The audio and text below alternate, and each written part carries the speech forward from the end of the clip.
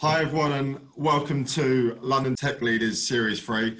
For those who haven't joined us previously, uh, essentially, London Tech Leaders is a, is a growing platform for heads of transformation, transformation leaders, CXO kind of level, board level discussions. Um, and it's an opportunity to discuss the latest industry trends in the market, challenge conventional thinking. Um, but when we go back to kind of in person events, it's a real opportunity to network with your peers um, where you might not get to do so on a day-to-day basis. Okay, let's crack on. So uh, we've got a few questions as advertised.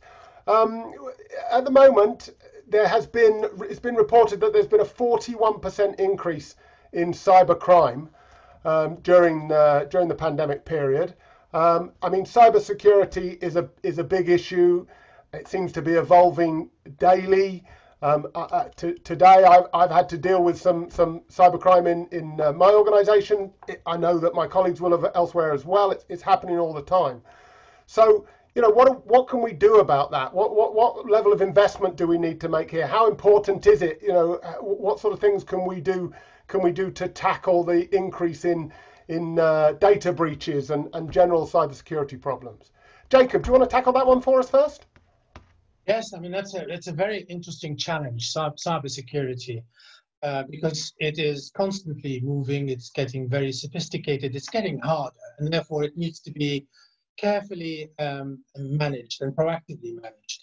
Um, I came across an interesting quote. I mean, this is a very extreme view, but this quote from a, a, an American computer scientist, Gene Spafford, who once said, "The only truly secure system is one that is paired of cast in a block of concrete and sealed in a lead-lined room with armed guards. And even then, I have doubts. So uh, this is an extreme view, but it just sets the scene, I think, in, in my view. Um, look, most organizations recognize the importance uh, and the threat of cybersecurity, um, and especially in regulated environments. Um, many organizations have been through the process of assessing their maturity that normally leads to an understanding of the weaknesses uh, um, that they've got and then uh, building uh, some sort of a cyber security remediation program to address those weaknesses and increase the maturity around prevention, detection, and response. And many organizations go through cybersecurity incident um, uh, drills and what have you. And, and the, um, uh, the, the approach is getting more uh, advanced. People are looking at threat-led testing. You know, CBEST is the best kind of known uh, framework for that. Uh, but in, in general, when you look at the maturity within certainly financial services based on the most recent FCA PRA kind of, uh, survey done on this, uh, you wouldn't be surprised that uh, a number of organizations are still uh, in the kind of low to medium maturity um, score. Um, this is why organizations are um, um, spending more money in their budgets, allocating more money in their budgets for cybersecurity programs in order to address that.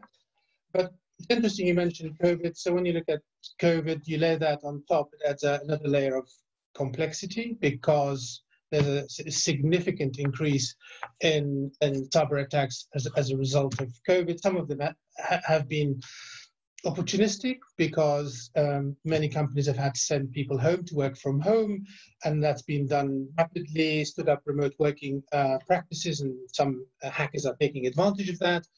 Um, see, the reduced consumer spending is causing these hackers to look at other ways of um, revenue, if you like, themselves, um, as well as organized crime, looking at companies in desperate uh, situations. Um, so and of course, the other thing which is really important is many organizations are focusing more and more on their digital channels. Hence, if, not done right, it, they, they, may have vulnerabilities which would uh, would uh, impact their cybersecurity posture. So, a very interesting topic. Um, um, it needs a lot of focus. It's an inherent risk, so it needs to be managed continuously. I don't think there's a, an end to this. This is an ongoing process that organisations need to be uh, to be uh, investing in. Okay, that's really great. You mentioned, uh, you know, it can be a heavily regulated world. Yeah, Des, that's a that's a world that you know very well. Um, you know, lots of regulations in your industry that you're in and, and have been. How, how does how does cybersecurity, you know, is is there a difference for you? I noticed you nodding when Jacob was like, "It's a continuous thing." So how how do, how do you approach that? What's your experience there? Yeah, I mean, I, I, I, I agree with a lot of what um, you know uh, Jacob has, has sort of um, articulated there. I think you know I always look at cybersecurity as it's it's like walking up a down escalator that just keeps getting faster. So you know whatever you did last the last year isn't going to be enough to do this year, and, and I think the challenge is that as uh, you know as we start to move more of our business workflows and businesses, you know, and, and COVID's escalated this quite quite quickly. You know, everybody's now working from home, and I think you know, uh, yeah, uh, Jacob t- t- talked into that. But also, businesses are changing their their, their business models. You know, we're seeing much more um, a, a, a, huge increase in internet um, financial traffic going into people's homes. Um, you know, the security that's required around uh, you know, from, from a business perspective on those workflows that you did you, you weren't even using previously, or they were side side channels for you, whereas now they're primary channels. I think from a regulatory point of view, um, you know, the, the, regulators continue to um, adapt and adopt as we go. You know, the, the, the analogy of the the downward escalator, you know, walking up the downward escalator, applies um, to to regulators as well. That they're continually looking and reassessing uh, the position of, of organisations. We, we work very closely with um, you know, the financial, um, the you know, PRA, um, uh, you know, and, and, and, other regulators around helping adapt, helping them understand what we're doing to help adapt some, some of the, you know, the white papers or, or, or views that they're, they're taking on things. I think, you know, for me now though, it is BAU. Um, you know, and, and that is, is sort of weird in the sense that, you know, um, something so impactful can needs to be part of your organization. And I think where historically we've gone through cycles of investment in security. You know, it always used to be there'd been a security event, and everybody everybody would pile in investment into security, and then it would dip down again after a couple of years because everybody would sort of forget about it. Now I think it's a continual grind, um, and I think the the switch between um, you know, cyber transformation programs or cyber programs and your and your run organization and actually embedding that into your run organization where they're continually doing the things you used to do through projects is one of the key switches I think that we're making. Certainly, a lot of organizations are starting to make. That starts to land differently because where you invest, you know, for many organizations, your investment budget and your OPEX budget are seen as very different. And starting to talk about switching, you know, capital spend and investment spend into more of an operating cost spend is one that uh, you know a number of organisations are struggling with because you start to see those numbers and what you've got to do to protect the organisation. Um, and you've got to balance those out with other operational risks that the organisation's got. And I think that's the other thing I'd add is you know security needs to be at the risk table. It's not an IT thing. Um, it's a business risk thing, and it needs to be alongside all of the other risks around, you know, whether that's operational, whether it's financial, whether it's regulatory it, needs to be on that on that table and in that conversation because actually it sits across all of those. There's a lot of nodding around the room as as you said that. I think as as technology professionals, we spend a lot of our life trying to get you know some alignment and some shared ownership on many issues with our our, uh, our wider business colleagues. I think that's a that's a really important one. But so far, I think Jacob and Des have, have given a, a, a good solid view of of you know the CIO CTO kind of view of the world. We we, we need it to be secure. It's a continuous improvement thing. But Neve, but what about the users, right? We've got lots and lots of, of, of customers or internal users or whatever, right? They just want to use this stuff, yeah. What, what about the impact to them of an ever tightening ring of, well, to use uh, Jacob's point, a concrete box? You know, how, how do we um, how do we deal with that? Yeah, it is a really, a really interesting. It's the dynamic. I mean, there's a friction, isn't there? Because we're putting in lots of security measures, and they're needed for all the good reasons that we've talked about, regulatory reasons as well. but it does cause friction depending on how these things are getting put in um, and certainly I see that you know from a from a user based perspective um, some of the things around you know uh, you know stripping out uh, links and you know filtering out things then they get immensely frustrated because they feel like they can't do the job properly. And so I think as a CIO you've always got to sort of try and balance that a, a little because if you make it too hard for people to do the job then they just find workarounds. They find other hacks or other ways to you know work around the system. So uh, you know, for me, it's always about this frictionless IT and how can we get security so that it's almost invisible to the end users. It's kind of there, but they're not having to try and engage with it or it's not becoming an irritation to them. Some of that is about a communication, and as we've talked about, uh, Des talked about the education and the business owning it as well. And some of it, I think, is about just getting smarter with some of the technology we put in. Okay, that's great. I think the um, uh, one of the things about that is we were talking about engagement with with the wider businesses, and I think you know nowadays, particularly in the uh, in the e-commerce worlds or the or, or, or, the worlds where we have you know where we're trying to get people to transact with us or engage with us, we're, we're worried about attrition, we're worried about conversion, we're worried about all of those things, and you know you're saying we've got to we've got to navigate some of those, Neve, and I think that's true. Um, uh, the point that Des made about being engaged, Phil, we've got a question from David Linwood. He's saying does the panel think that the business units understand their role in cybersecurity properly, especially in working out strategies should a cyber event occur? So what do you what do you think about that? Do do do we have to drag these the, you know our business counterparts along, or, or, or are they getting it more? Do you think? Uh, my experience is they're getting it more now. I think it's not a case of of dragging, and maybe it used to be. Maybe it's different for different organisations, but I think with increasing audit, regulation, compliance, and just that the the weight of headlines, um, whether you say that's TalkTalk or others, um, you know, it, it's in the public domain now. These things happen, and and you know, protecting the brand that you work in from those from those threats, protecting the teams that you work with from those threats, looking after the individuals. I mean, everybody now is increasingly busy working in different places. They can't turn to a colleague and say, you know, have you seen this? What do you think? It's it's more important that we have cybersecurity awareness. We have online tools. We continue to to press the messages that the, the threats are increasing. Um, you know, uh, current, as I understand it, roughly industry average, which we're experiencing as well, is about 80% of all inbound email is being blocked for, you know, content that's not relevant to the business. And, and, and I think that's probably a, a relatively standard, a relatively standard context. But for busy people, the one that gets through is the one they click on. And I think it's just that continual evolution of awareness. Okay, that's great. I think we're going to finish on this question and move on to some other questions, but I'm just going to finish with a comment from uh, one of our audience, Chris from Red Hat UK. He says, and I think our panel will agree with this, security every, is everybody's responsibility within the organization.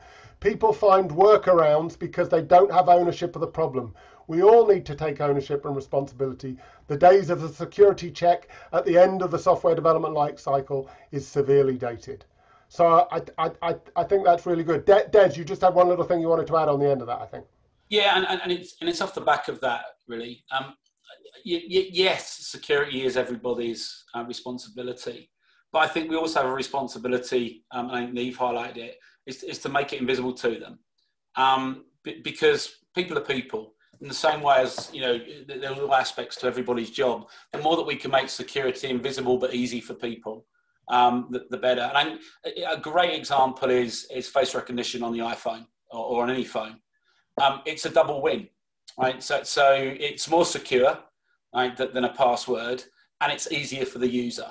Now, you know, with, with masks on, I'm probably not the only person who's found that a real, a real pain. But it's funny how quickly we've got used to that. So I get, you know, if, if I'm looking, go pay for a coffee, um, obviously it cost us. Um, I would, uh, you know, you suddenly you can't do that. But that's a great example of where the technology and the usability and the customer journey has come together to say actually it's more secure, but it's actually better for the customer. And I think as technologists, we have to look for, for routes for that. We have to look at ways that actually, you know, uh, aid the uh, aid our customer, aid our users in their job, but also make them more secure as well. It is something that everybody's responsible for, but but we can't expect them to be thinking about that all the time. We need to try and make it as easy for them to do that as possible. But, but the, the, the bottom line is technology is a lot easier to change than culture it's a lot easier to change a firewall rule than it is to stop a user community from sticking passwords on post-it notes on screens. And it, it's fundamental that, that we have to work cohesively with technology and culture to shift it. Yeah, I, I totally agree. And I think it is, it is about technology, it's about process, it's about people, all three of them. Yeah, okay, that's really great, guys. We've got a couple more questions on this, but we're, we're going to hold them open so we can move on to the next question. If we get a bit of time at the end, we, we, we might come back to them. Thanks for Nigel and Lolita for your questions. We'll, we'll, we'll maybe get back to them if we can. Data-driven decision making. We, we hear a lot. It's a bit of a buzzword, yeah? Data-driven decision making rolls off the tongue nicely what does it mean to you? How important is it? Is it a blip? Is it something that's going to change our lives? And and again, a bit like security, where are we in the maturity stakes as organisations with this? How far into it are we? Yeah, I, mean, I, I, I think you can take that statement and apply it to pretty much every every industry, every role, um, and and and I think everybody's in the same place of you want to you want to make more data driven decisions because you feel like you're making a better decision the fact is that's only really based on the quality of the data that you're using. So, so you know, I, have sort of got a simple approach to this, which is um, that uh, you know, if you look at it, really, when you look at data, you're, you're, you're concerned about completeness, quality, and it's only when you've got those two things you can make insights. So, so actually, it's in some instances it's worse making it's a worse place to be making poor decisions on poor data because you think you've got good data to make it on than, than not. So, so I mean, we're very focused on that at the moment because if, if any anybody's been through any sort of digital transformation, it's almost impossible to do that without first addressing what your data looks like. Um, and, and, you know, we're looking at a very much a data-driven transformation for, for the insurance market because the quality of data that at the moment flows through the market is pretty poor. Um, and that's really because in, a, in a non-digital environment, a lot of those gaps are fixed as it goes through the journey. So, you know, we do a lot of data um, validation, we do a lot of data uh, verification as, the, as it goes through the journey. If you truly want to digitalize um, any, any process um, or any customer journey, you need to ensure that actually you've got you, you know, a, a, solid understanding of what's your minimum data records that you're going to need to, to ensure that that flow runs smoothly. So I, I think decision making for me comes at the end of a chain around the, the and I think most organizations, if you get to the fact where you could actually make really insightful decisions based on good data, it's a great place to be. I think for many organizations and for many industries, the challenge is actually getting that quality of data to get there. A very similar um, example in the um, in the in, in the water industry um, when I was uh, running MOSL, and, and, we were, you know, our challenge there was really, believe it or not, is that you most people don't know where the water meter is because it's not one of those that's regularly used. So we were looking at, you know, how do you get water re- re- meter readings to look at how you can save water if you can't even find the meter. So yes, you can make decisions off the back of volumes, but actually you found out most of those volumes were estimated because nobody could actually get the core data. I think if you're starting from a, a position where you, you've got good workflow uh, where you've got good capture up front, where you can capture customer data and you can get that analytics. You know, you, you can get make good decisions.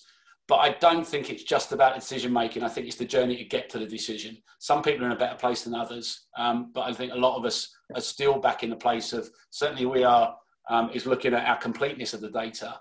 Then we can move on to the quality. Then we can get to that decision making analytics. Okay, that's that's that's uh, insightful. I think. Um, one of our audiences picked up on this and said, it's when leaders abdicate responsibility and look for data to make decisions rather than using data to inform decision making. It's a subtle difference but has a potentially big impact. That's from Harvey. Thanks for that, Harvey. Um, I, I, mean, I think uh, that that's probably some of what you were trying to say there, Des, about the about the journey. Neve, the NHS. Um, I know that in your particular area, you're not necessarily front line, but there's a lot of data that is being thrown about in the press and the media about about uh, the NHS and various things, your, your world must contain a lot of data points and also a lot of decisions that need to be made. How, how are you pulling those two together in that world? Um, it's actually really hard to get all the data that you need to make that right decision making that Des was talking about, right? So it's about pulling the right data together. Um, and the reason is, is because actually the data often resides in multiple different parts of the system and there is actually you know, there's no neat one single central repository i think what we're seeing now is um, an increased ability of parts of the nhs to kind of deal with some of the sharing of records. So things like, um, you know, uh, patient records, you, you, you can download an app now, in fact, see, see some of the records. Um, but also where you actually don't need uh, as much data as you thought in order to drive some of that decision making. And so that's something that, that, that you know, we've been grappling with. Um, the data that we deal with in resolution is highly sensitive um, and actually because there's not millions of records that are identical, it can be quite easily, you know, reverse engineered and stuff like that. So you have to be quite sensitive. So to what extent can we do some analysis, help drive out some of those learnings, and then just kind of push the the outcome out to trusts and help them learn without actually having to give them all the data, which goes contrary to some of the thinking in this data decision driven making where you try and push the data out and let people kind of, you know, use it to drive their own decisions. But actually, I think it's back to that balance about where you need to kind of hold that data securely. But it is it is a challenge for the NHS, um, you know, that, that I, and I don't think there is an easy answer to, to uh, how to knit data and, and really have it drive, particularly things like population population health. Um, you know, there's lots of initiatives going on to try and address that, but it, it is a challenge. Great, thank you. Um, Phil, what about in your world? Slightly different from the NHS. You got a view on this? Uh, yeah, I mean, it kind of overlays with the first question around information security because having all of this data and getting closer to consumer insight it's all very well but you, you can't then give it to everybody. You've got to think about how you secure it or obfuscate it or democratize it. And, and i think that lends back to the commentary around um, making a decision versus informing a decision because the moment you start obfuscating it and making it trending data then you're informing a decision. And you've got to get that to the right people in the organization at the right time with the right veracity and the right volume then it's you've got you've got to think about how you construct that for your organization. Because if you can't do that and you can't trust it then the, I think the, the, chain that Des was talking about, the moment you break that train chain from master data through the CRUD matrix to, to the to the inform and insight decision maker, you, you have wasted you're starting to waste your money because you lose the trust in the data then you stop making the decisions you were trying to inform in the first place and I guess you get a bit of data overload at that point as well, and, and everybody's trying to make decisions based on different levels of trust in the data, and you don't know where you are, right? And, and the complexity of that data is is going up and up and up with every new uh, digital channel that's being opened. With you know whether that's patient records, whether that's e-commerce orders, whether that's mobile payments with every new channel, that complexity and those routes get more complicated. And I'm certainly seeing that in, in organizations I've worked with in my current organization. We're sort of having the second go at data as it comes around. We, we, we got the message, grab all the data, capture everything you can. Now we're trying to work out how best to make sure it's reliable at the right point for the right decision at the you know at the right time. So, Jacob, what's your experience there? Well, and yeah, absolutely. I, I agree with what's been said. I think data is important for decision making, not internally. So if I if I consider insurance, you look at the value chain. Data is important in the lead generation and broker profiling, in in uh, informing underwriting and pricing. It's used in claims, looking at fraud. Um, so all of that is really really important. And most insurance companies have got tons of data.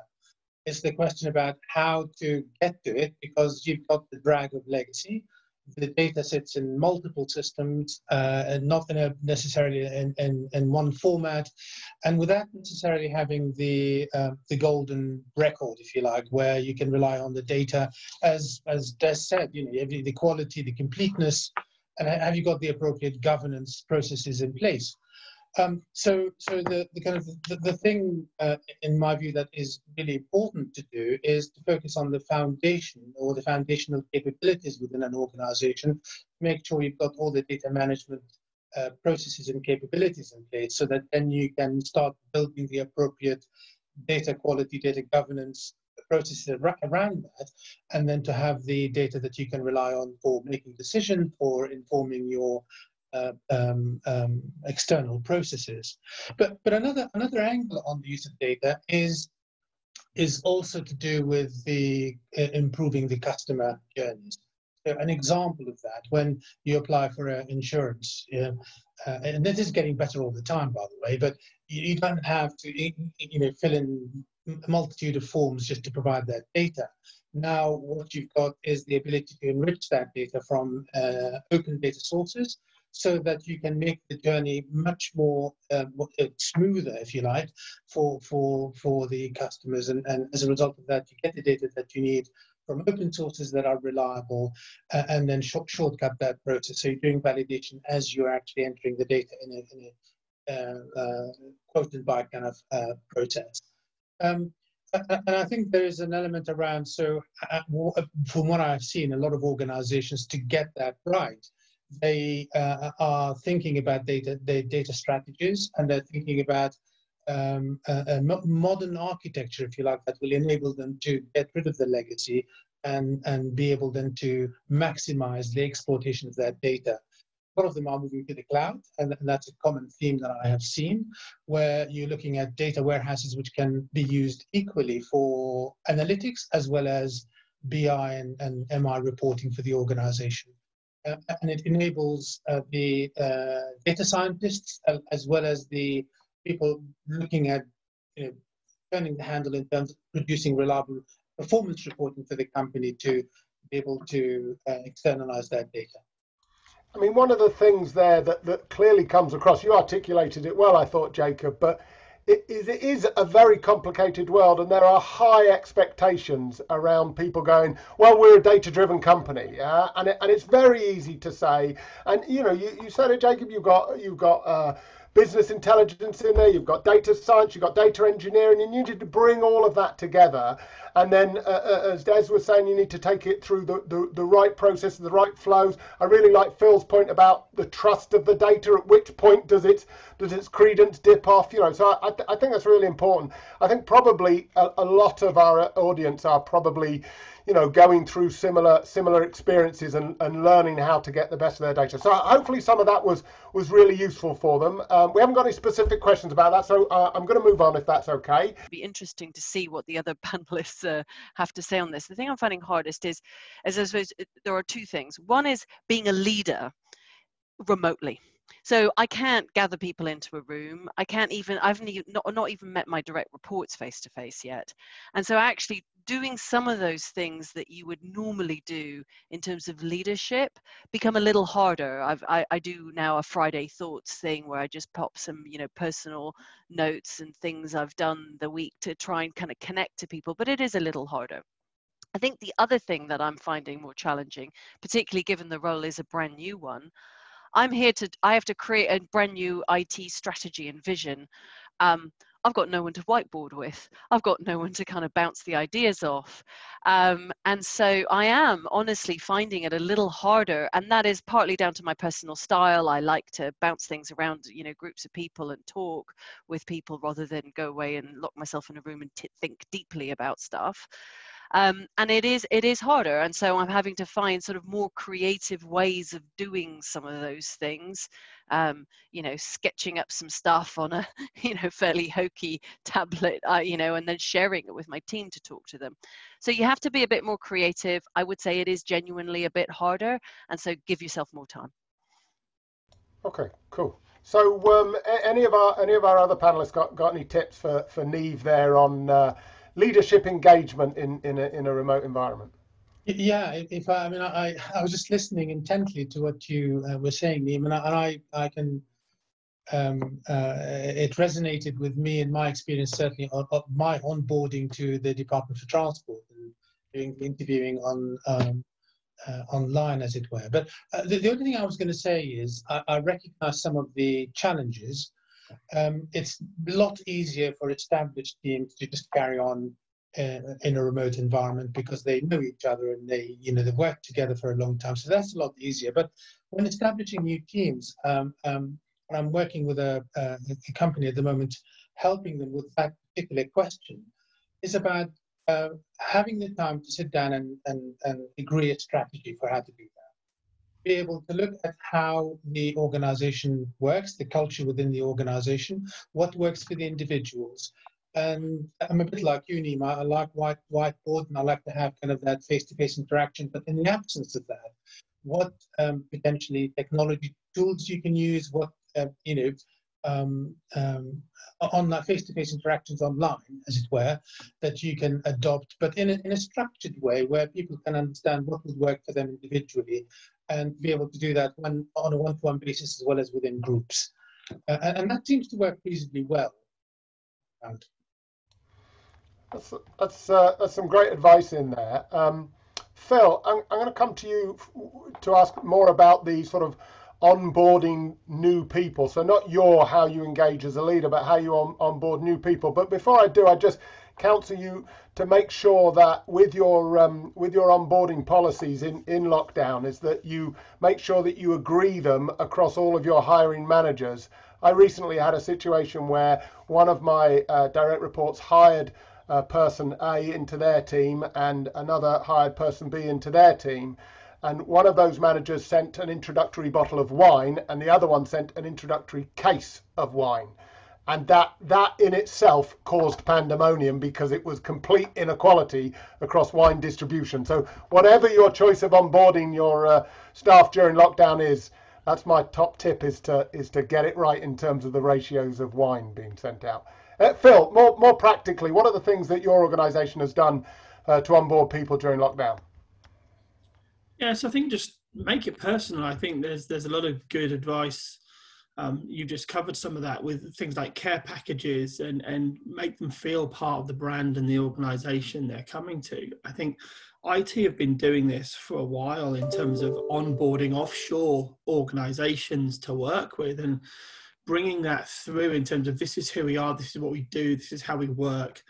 You know, put a put a team meeting in. I mean, I literally every week now have a, a, you know a team meeting so that if anything you uptick the engagement, you uptick the the, the FaceTime with with people just to try and maintain that engagement and and accept the fact that everybody is different. Some people want to turn on the video. Some people will have a background. Some people won't want any of that. They'll just turn up on the on the speaker. You just it is it's down to the individual.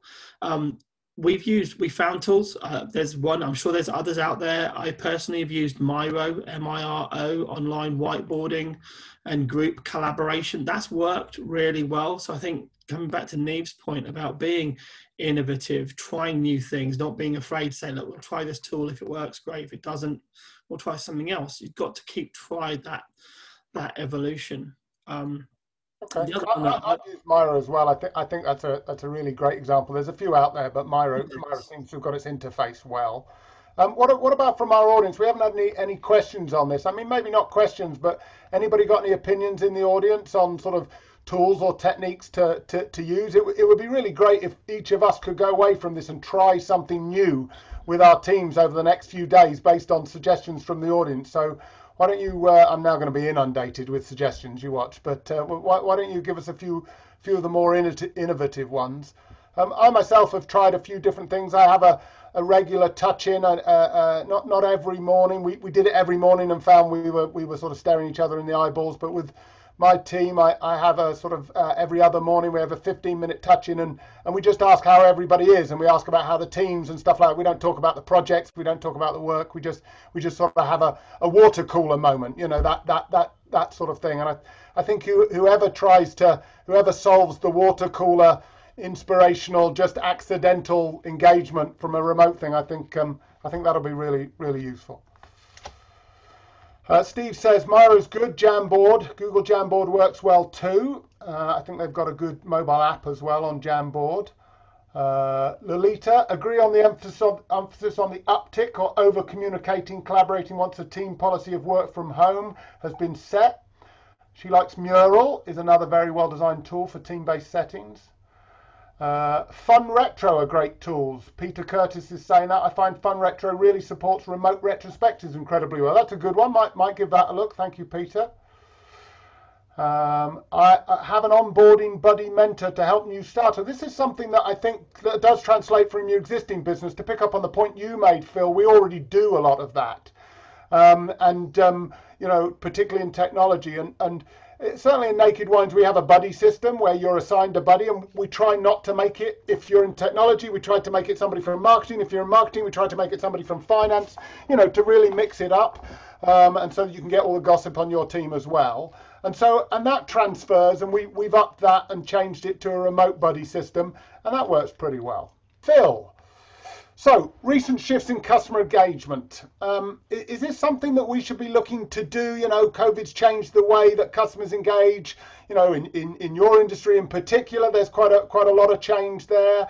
Um, should we look at changing our existing business models? Do we need to, re- or, or is it all just it's a glitch. It'll be over soon. Just stick with a plan. You know, don't don't no need to adapt. What what what should we do there? Oh look, I'm not I'm not a medical expert, right? But I do not have Trump's confidence in the uh, arrival of a vaccine in the next couple of weeks, as was announced last night. Uh, this this appears to be uh, going to be around for a while, and from what I understand, in terms of the pipeline of SARS and MERS, these coronaviruses that hop uh, you know the frequency potentially this is this is a, a, a, thing that's around for a while to come that aside you know we've had some of these tools for a very long time you know we've just never used them. And i think we're just now figuring out how to work in a in a new world. Um, for me customer engagement is absolutely key.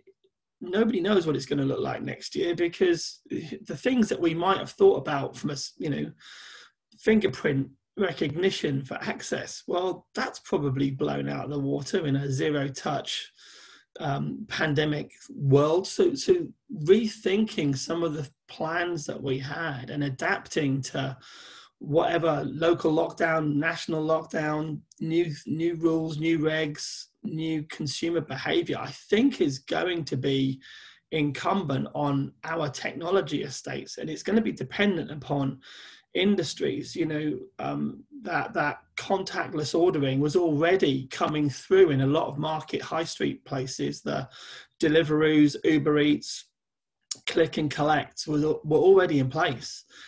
Now that the acceleration of those across any brand is is you know more far more significant i think if you're in an industry where you know step one is is register the consumer step two is send them lots of paper to sign that process fundamentally has to shift pretty quickly or the regulations have to shift to allow that industry to survive in a in a in a remote working future way of of, of consumer engagement. And that's just about us as IT leaders technology leaders business leaders adapting.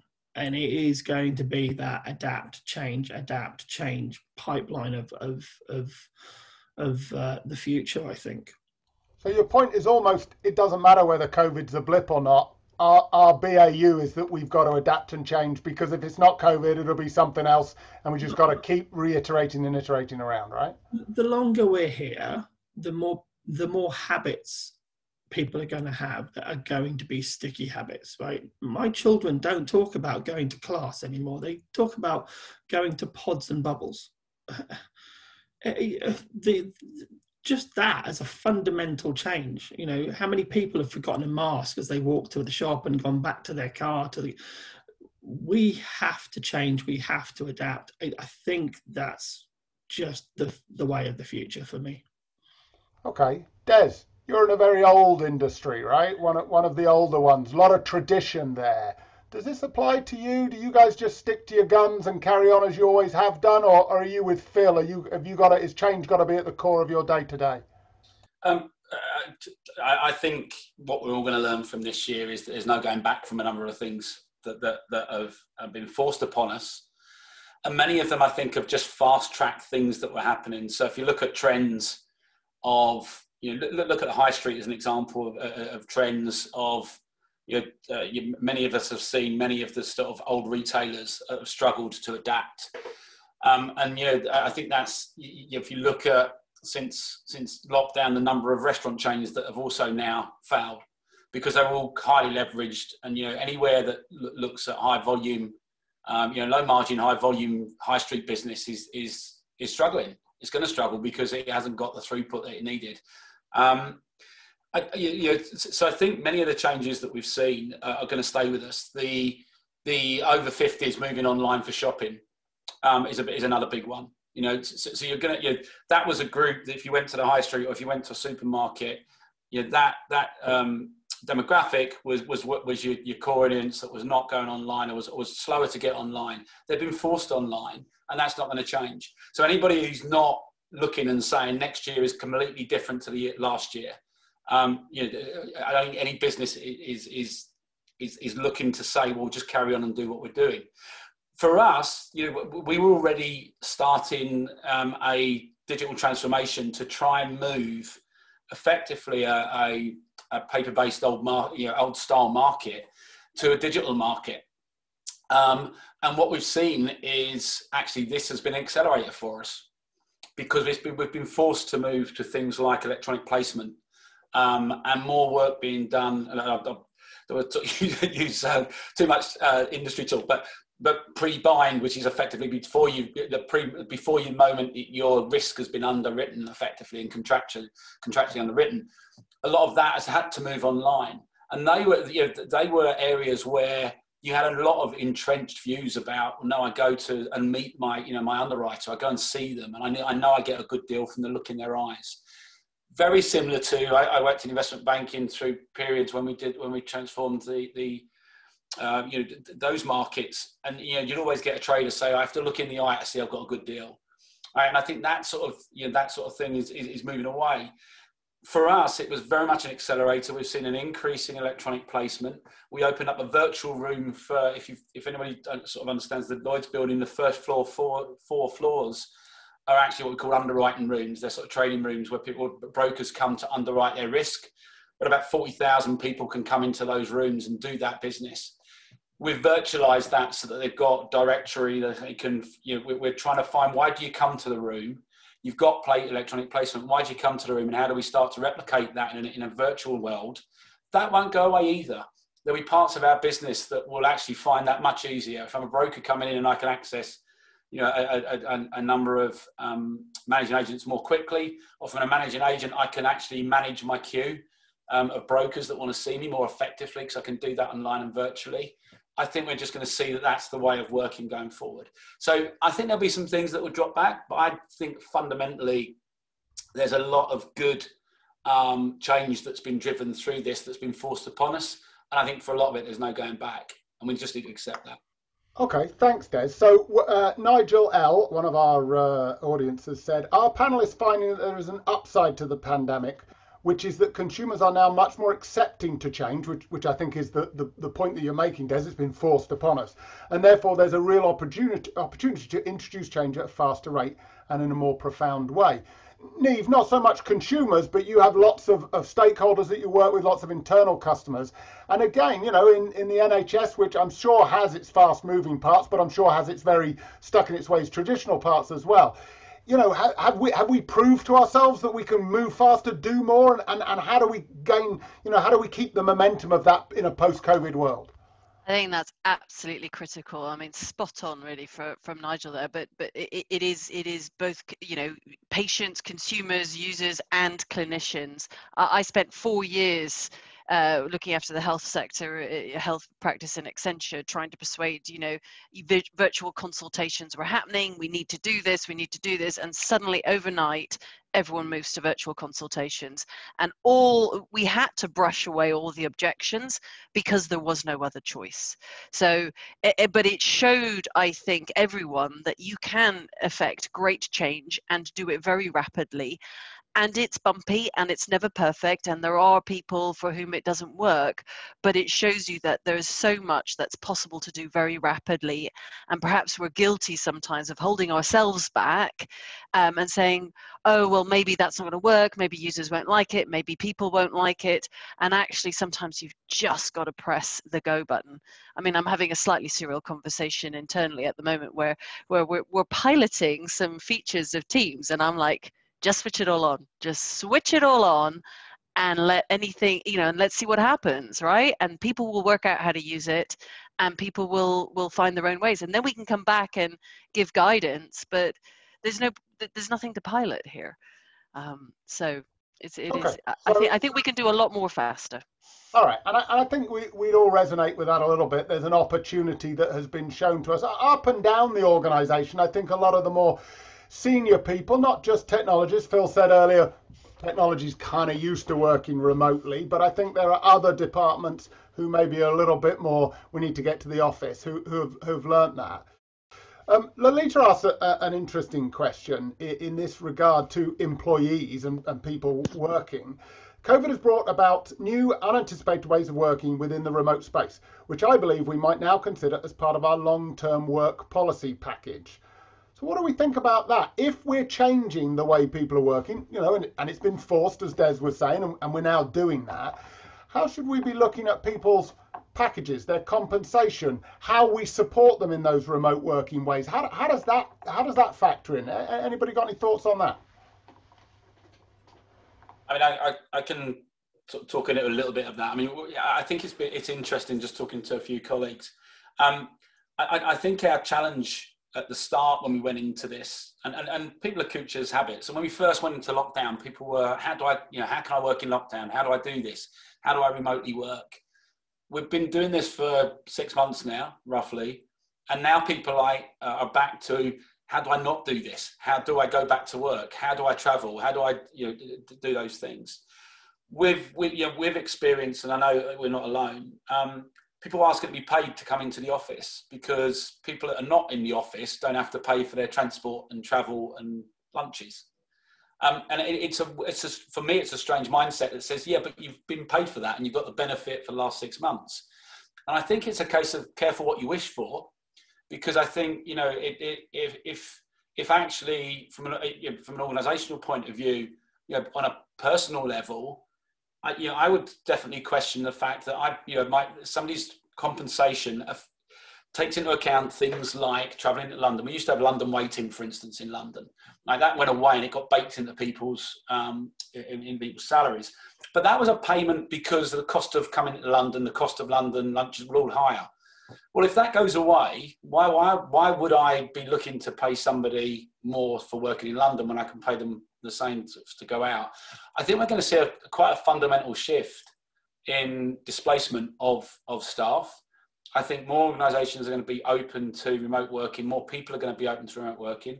You're going to have to look at um, really you know, on the real estate side, um, where house prices in London are dropping and house prices on the outskirts of London, and, and I think Devon, Cornwall, and Dorset have seen the biggest rises because people are starting to say, I don't need to, to know, I no longer need to live in the centre of London if I'm going to work three days a week outside of it. So I think we're definitely going to start to see the work population change. I, I don't know what that, I, I, can't say I know what that's going to look like. I don't know if we'll continue to find that, you know, young people particularly come to London for London. You know, we, we happen to then use London because we get resource pools. And I think that's the other part is where skills are going to lie. And we still get hot hotspots of skills and, and, and why you know why the roles still sit in London? Well, because there's certain skills that that obviously gravitate to London. So I, I think it's going to be an, an, interesting period over the next year, 18 months. I do think we're going to see change. I, I yeah, I'm not sure I've got the, the right crystal ball to work out exactly what it's going to look like. But I think people need to, that flexibility needs to be on both sides, both with individuals and with companies. Well, um, I think you've already answered uh, Hamid's question, which was, uh, you know, if we're if we're going to be in this world, then uh, and working from home is the norm, where should we look for our talent, right? And I, and I think you just sort of said, you know, well, we need to consider that, we need to think about it. I think that'll be an evolving question, but certainly, you know, for myself, uh, uh, the headquarters of Naked Wines has always been in, in Norwich, up in Norfolk, and and that in itself, that's where it grew out of, and that's where it was founded.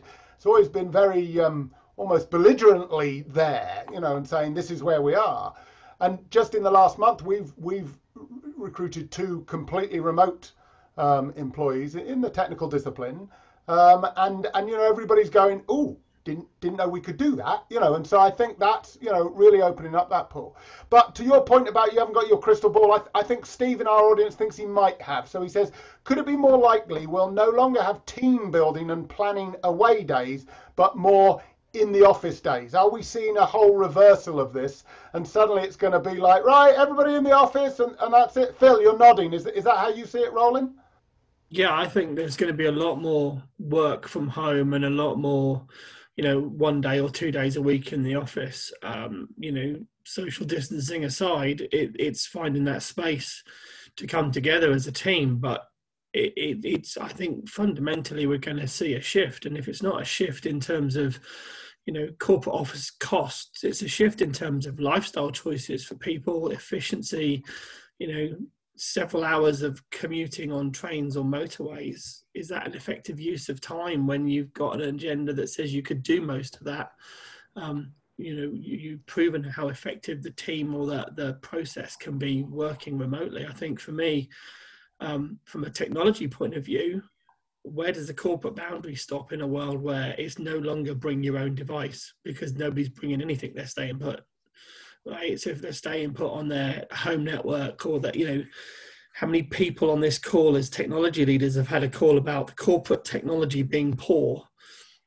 And it's really slow today and it's well that's because you've got teenagers at home streaming xbox games or whatever. It, it, you know where does it stop now? Our boundaries will fundamentally shift from a technology point of view over the coming months and years i think as these new ways of working are, are adopted and, and we change we change how we go about our business and I don't, I don't think it's just the technology, Phil. I think, I think you're right. That will change. But uh, Abid's uh, stuck in a question here: Is working from home sustainable for younger staff in shared accommodation, and has productivity suffered in your teams? Yeah, and and I think we're going to see not just technology change, but I can almost see over time the housing market changing. Suddenly, if you've got a garage that can be converted to an office, your property is going to be more valuable, right? I, you know, I can almost see that thing. You, you, Des and, and, and Neve and Phil are. Uh, coyly hiding behind a nice screen, but I've seen behind there they're all sitting in plush offices at home, guys. Right? Um, I'm sure some of our some of our audience are as well, but we have to be cognizant. There will be a lot of people, you know, uh, generally younger than us, earlier in their careers than us, who are maybe in shared accommodation, balancing laptops at the, uh, you know, on the settee and stuff like that we've got to think about those. They're, they're the lifeblood of our organisation coming through. Jacob, how, how are we going to deal yeah. with, the, with those people? How we no? I, I, I, agree, and I don't think the model is going to be the same for everybody. Um, uh, for the individual, as you've just described, I think there will be people who would prefer to come back to an office, but ultimately the question is around what does the company need from the individuals? And therefore, what you've got to do is segment your population just to understand who needs to be in the office and whether on a full time basis or not. And for those people who have, will have more flexibilities. So, so I, I see, I don't see it as one size fits all. I see an element of segmenting the, the, the, the you know, population within an organization to decide on the best model that needs to be adopted for the future.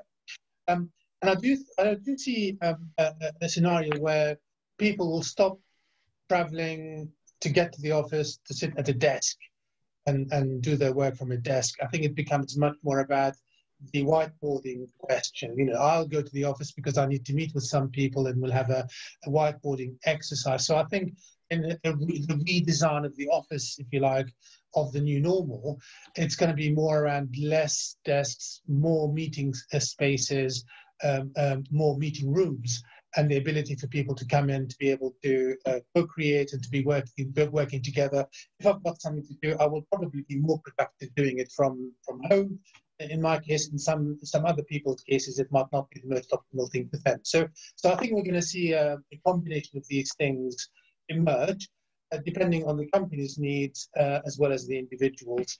Um, I don't necessarily see a world where it's all going to be one thing or another, if that makes sense. It, it, makes perfect sense. And, and, and Des, I know you want to talk about a point which, which I've also sort of thought of as, as I walk down our, our town's high street and see lots of these empty department stores and, and shops that are no longer there as the high street, traditional high street stroke slowly dies. I can't help thinking about work hubs. T- tell us about your conversation about work hubs you, you've had recently, Des. Yeah, we, we, we were we were we were talking about how you know what what is it that people need to come into the work into the office for. And we, we were finding to, to answer a question earlier about yeah, a, a lot of our, younger staff were, were struggling because of the because of the type of accommodation that they're working in. And we got into a conversation about um, about you know, possibility of you know, could we set up local work hubs around London? I.e., are there sort of places around London that we could actually set up our own sort of um, remote space? Not in a WeWorks type style. Um, and I think you know, um, I think if you've been in the centre of London, WeWorks or, or, that sort of industry, I think would is probably going to struggle an, an awful lot because it's based on the premise of coming into town.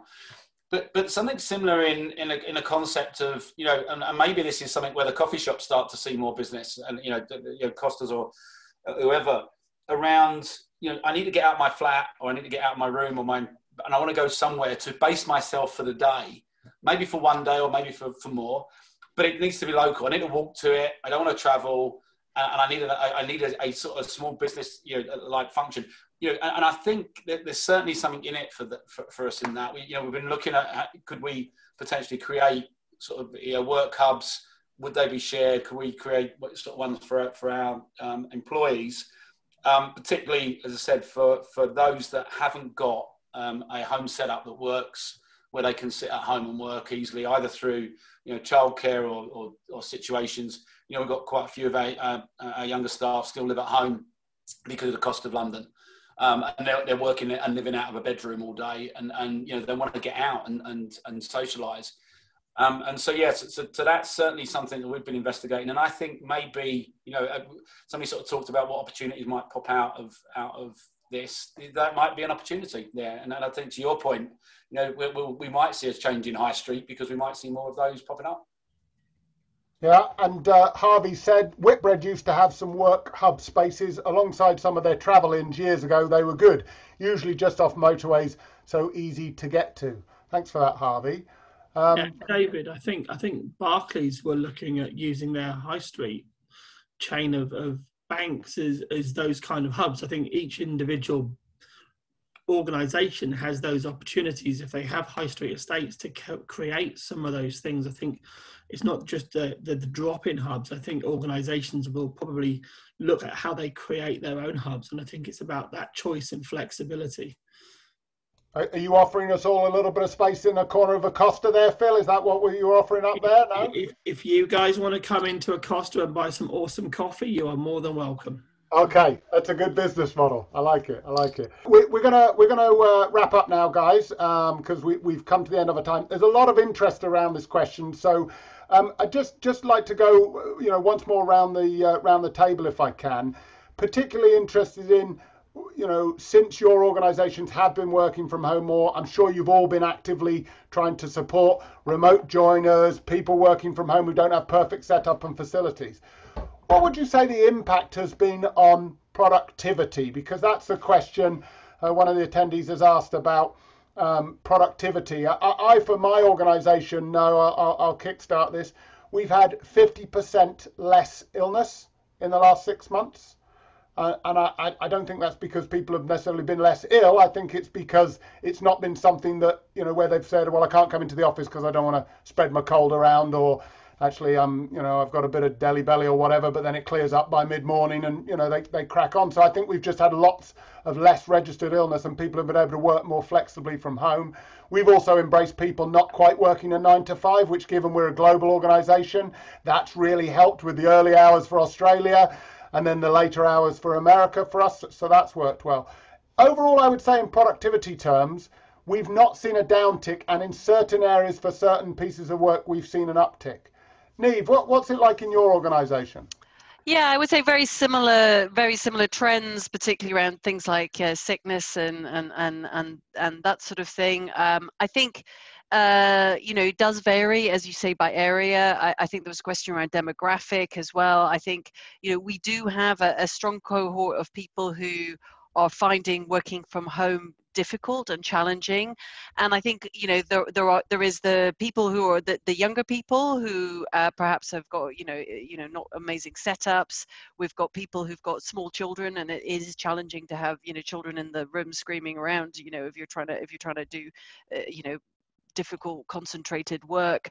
Um, but also interestingly some of the people the, the empty nesters who are finding it very lonely actually uh, to be on their own all day uh, and there's no one to talk to and no one to sit and have lunch with or have a coffee with or whatever. So so th- there is a mental health um, challenge, I think, around how we keep people motivated and engaged. And I think it's quite easy to fall into the trap of assuming that everyone's at home with a very traditional setup, you know, at home with a with a spouse or partner and kids or, you know, who, who don't require too much attention and and and you've got space and, and, and convenience of an office and somewhere to work. That's really not the case for, for many people. So I think we haven't seen it hit yet, but we're seeing it in the survey results. People starting to say, I'm not sure if I want to continue exactly like this. So this flexible mode, I think, will be key going forward. This part work, part going in, part staying at home. Okay, Phil, what have you seen in your organisation? Yeah, look, I think I think it's I think it's um, mental and physical well-being. I mean. I used to walk quite a lot across a car park, and, and now you find you're not walking between meetings anymore. And it is just those little things, you know. And yeah, I have the luxury of of personal space to, to work. And I think if you don't have that, if you have younger children, it can be really challenging to balance. I think from my point of view, um, you know, making sure the team feel that flexibility that if they can't start at nine o'clock because they have childcare or, or you know um, somebody else needs to use their network, then fine, have the meeting at 10 o'clock. You know, if people need to finish their working day at four or five, then so be it. It's not, it is, it is, I think about creating a, a, a collaborative culture where you're not afraid to have a dog barking because you're actually at home and you are working and it's just somebody's come to the door at a really inconvenient time. Um, so, so for me, I think it's just about adapting to those changes and making people feel comfortable that they can choose to decline, choose to exist in their own space how they would want to without feeling comfortable in it. Yeah, and I think that's good, and I think it, it, it's great to hear this kind of thing from us as leaders because that's where that's where the bar needs to be set, not just in giving people license to the showing a bit of leadership in our behaviour as well. Jacob, are you, uh, are you, are you adopting yourself to uh, to a better productivity from home, and and, and you know, is, are you seeing that in the organisations you've worked in during lockdown? Um, uh, yes, I mean, I think I think the uh, the main thing is I think people are working longer hours, and I think the important thing is to get to some sort of a some discipline around taking breaks and just walking, not walking between meetings and between meeting rooms and floors and what have you. You're actually, you know, assigning yourself time to go for a walk around the, around the park or, or what have you. But but one of the things which I uh, think has been um, not necessarily a surprise, but uh, a pleasant surprise, if you like, is the fact when you talk about agile teams. Agile teams thrive on co-location, right? They want to be together. They want to work in the same room. They have the daily stand-ups, the daily prayers, and all the rest of it and one of the things which uh, has uh, proved to be uh, um, interesting is during the lockdown, productivity has not suffered. In fact, I have heard many colleagues and, and uh, people I know who have reported an increase in productivity for, for agile teams, especially those established agile teams. I think if you're going to start this now, it will probably take some time to get up to speed and to become uh, more productive. But but if you've got an established team working in an agile way, uh, one one of the good things that has come out from the lockdown is the fact that productivity has not suffered. In fact, in some cases, it has improved dramatically. Yeah, well, I think that's absolutely true, and and, and is a great advocacy for, for more agile working, right? I think I think that's that's the way. It's slight slight change. Ceremonies are a little bit different, but absolutely the same principles uh, principles align.